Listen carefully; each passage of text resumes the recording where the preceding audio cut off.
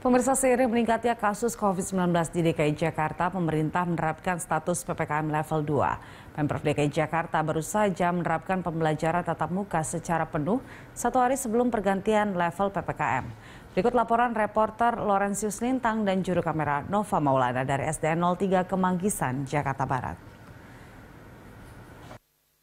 Penerapan pembelajaran tatap muka di Sekolah Dasar Negeri Kemanggisan 03 Jakarta Barat terus berlangsung di tengah perubahan status PPKM di Ibu Kota Jakarta. Wakil Kepala Sekolah SDN Kemanggisan 03, Karim menyebutkan belum ada perubahan kebijakan setelah penggantian level PPKM.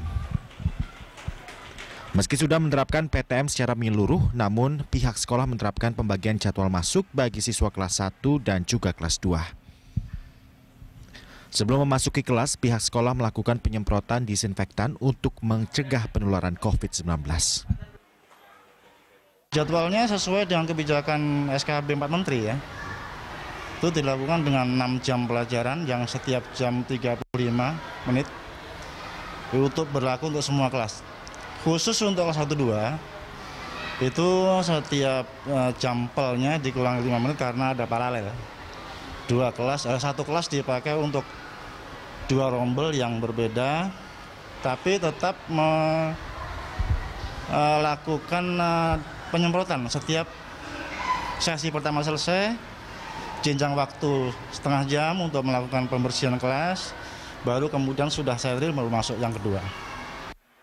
Terdapat 330 murid yang ada di sekolah ini. Penyediaan tempat cuci tangan serta kebijakan mengenai protokol kesehatan terus diupayakan oleh seluruh pihak sekolah. Penerapan pembelajaran tatap muka juga diterima baik oleh murid. Para siswa dan juga siswi antusias mengikuti pembelajaran tatap muka.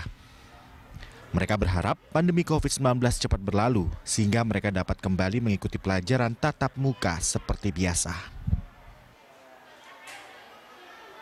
Senang. Karena langsung ketemu guru. Lebih mengerti belajar dari sekolah. Biar COVID hilang. Senang. Kenapa senang? Nah, karena banyak teman, terus gurunya baik. Aku ingin corona hilang. Senang. Alasannya kenapa? Soalnya bi karena bisa ketemu teman-teman. Biar cepat hilang. Kenapa biar pengen cepat hilang? Biar bisa sekolah lagi.